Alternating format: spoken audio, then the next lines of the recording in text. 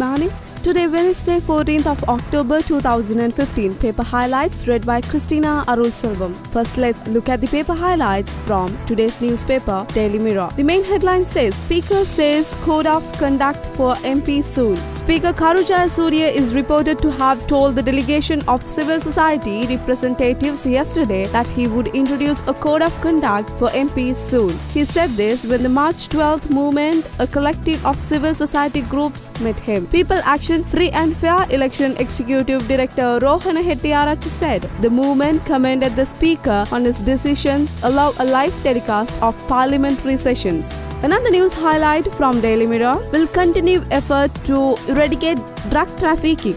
Rwanda. The countries in the region must ensure that the clear message goes to the traffickers that the Indian Ocean region will not tolerate their trade either over the land of maritime routes. State Minister of Defense Ruwan Wijewardhana said yesterday Sri Lanka would continue working with countries in the Indian Ocean region and the Global Maritime Crimes Program of the UN Office on Drugs and Crimes to eradicate drug trafficking and maritime crimes from the region. Another news highlight from Daily Mirror Venerable Jnanasara and two others monks surrendered to court. Colombo Fort Magistrate Priyantha Liyanage yesterday recalled the warrant issues of the arrest of Bodu Bala Sena General Secretary Venerable Galagodathe Jnanasara Thera and two other monks after they surrendered the magistrate court through their lawyers. Another news highlight from Daily Mirror. The headline says Hangman 14 interview for two posts. The prison department said yesterday 14 applications for the two vacant posts of hangman were interviewed by the three-member panel comprising officers of the Public Administration and Human Affairs Ministry, Justice Ministry and Prison Department at the prison head office. Another news highlight from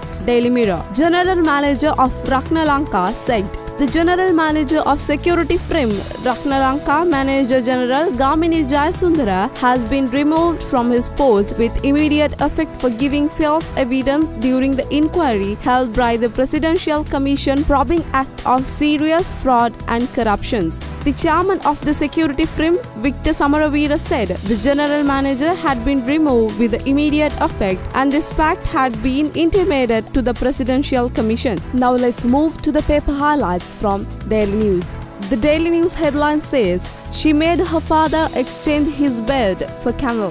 A 42 year old mother of two in Panchapitiya, Kargol, who allegedly ill treated her aged father by confirming him at the kennel while allowing her pedigree dogs to enjoy all comfort, including her beds, was arrested by Balagala police yesterday. Police investigation revealed that the woman whose husband and mother were abroad lived with her two children 73 year old father. She had said she confined the father to take kennel because he used the defecate in the bed and soiled his clothing linen. Another news highlight from Daily News 8 year old run over by father's car.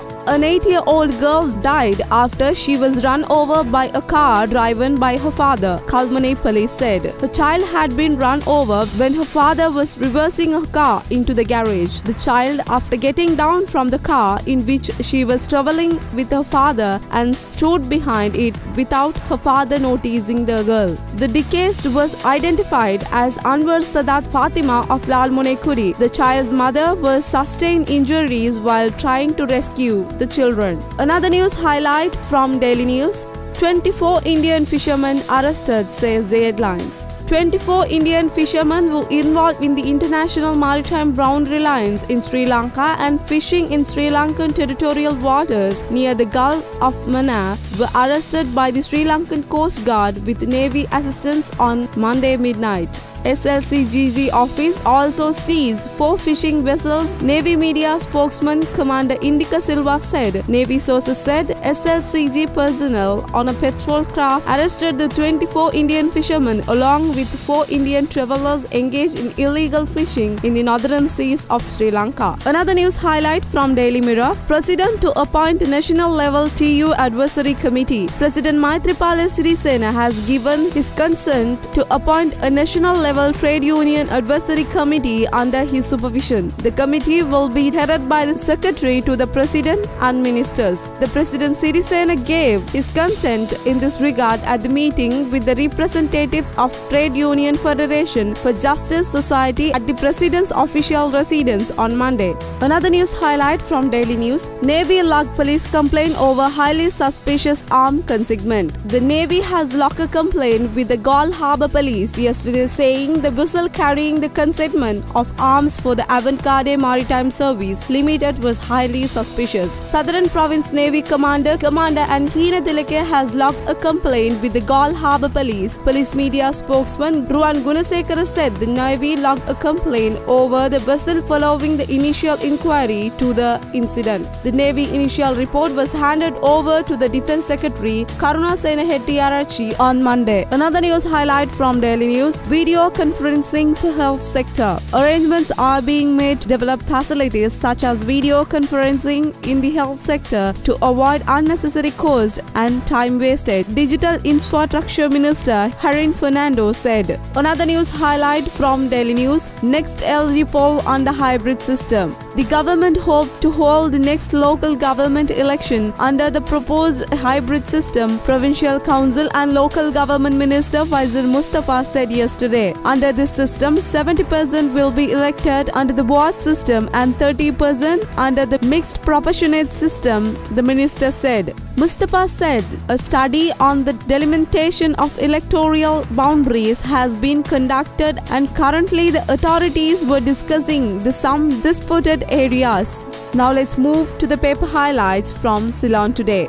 CID tells court LTTE masters Legues 4 years with the AG, headline says. The Criminal Investigation Department informed Colombo Chief Magistrate yesterday that they are still awaiting instructions from the Attorney General on steps to be taken regarding LTTE spokesman Daya Master and Inspector George Master four years after file was handed over to the AG's department. Another news highlight from Ceylon today, killing of MP Nadaraja Raviraj, AG grant conditional pardon to PSD men. Another news highlight from Ceylon today, Tamil political prisoners continue fast satyagraha outside Welikada prison on Friday. The Committee of Protesting the Rights of Prisoners who have formed the National Movement for the Release of Political Prisoners will conduct one-day satyagraha in front of the Welikada prison on Friday 16 October at 10 am. Chairman of the committee and convener of the National Movement, Attorney at Law Senaka Perera said that those arrested under the terms of the Prevention of Terrorism Act. Another news highlight from Ceylon today, SLT Director Sling Mud at Chairman attempt to create rift between President and PM. A director of Sri Lanka Telecom is alleged to have provided false and fabricated news to certain media and website with the intention and embracing the and inconvenience the SLT its chairman PG Kumarasinghe who is also President Maithripala Sirisena's brother and the SL subsidiary Mobitel Private Limited. We will bring you more news tomorrow.